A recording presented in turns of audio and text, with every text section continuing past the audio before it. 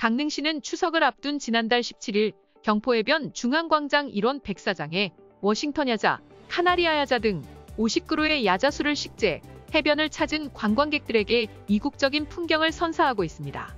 강릉시는 코로나19로 지친 시민과 관광객들에게 이색적인 볼거리를 제공하고 관광객들을 유인하기 위해 야자수를 식재했다고 밝혔습니다.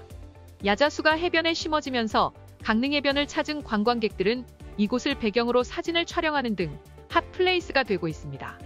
경포해변 야자수가 강릉의 새로운 볼거리로 등장하면서 야자수가 어떻게 심어졌는지와 겨울철 관리 방안에 관심이 커지고 있습니다. 결론적으로 경포해변 야자수는 11월까지만 볼 수 있습니다. 야자수는 열대식물로 매서운 바닷바람과 영하의 날씨가 이어지는 겨울철 강릉에서는 살 수가 없습니다. 경포해변 야자수는 경기도의 한 농장에서 키운 것으로 강릉시가 1,500만 원을 들여 임대했습니다.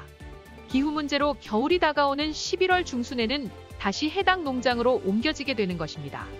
경포해변 야자수는 모래사장에 바로 심은 것이 아니라 대형 화분에 심어져 있어 이동이 쉽습니다. 한편 경포해변 야자수 포토존 조성에 대한 불편한 시선도 존재합니다. 일부 시민들은 경포해변은 해송이 어우러진 해변으로 해송 가꾸기가 우선이란 입장을 보이고 있습니다. 소나무가 강릉과 경포해변의 상징이고 지켜나가야 할 자산으로 야자수 포토존보다는 해송을 테마로 한 이색 사업을 추진해야 한다는 지적입니다. 강릉시는 야자수 임대 기간이 끝난 후 시민들과 관광객들의 반응을 취합해 내년에도 야자수 포토존을 운영할지 결정한다는 계획입니다. 더 많은 강원도민일보 뉴스를 원하시면 화면 위쪽을 눌러주시기 바랍니다. 좋아요와 구독, 알림 설정은 강원도민일보에게 큰 힘이 됩니다.